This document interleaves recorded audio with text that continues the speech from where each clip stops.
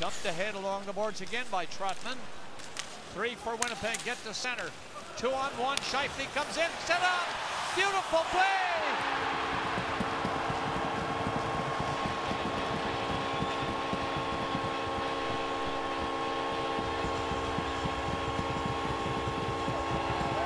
You gotta salute the passing, not only the speed.